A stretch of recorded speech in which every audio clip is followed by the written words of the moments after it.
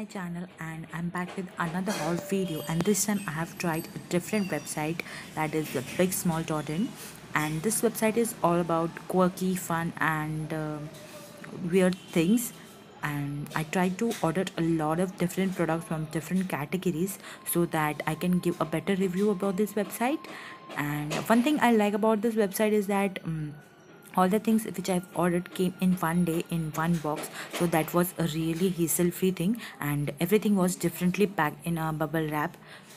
As you can see I've already opened the box uh, because I was really excited to see the products.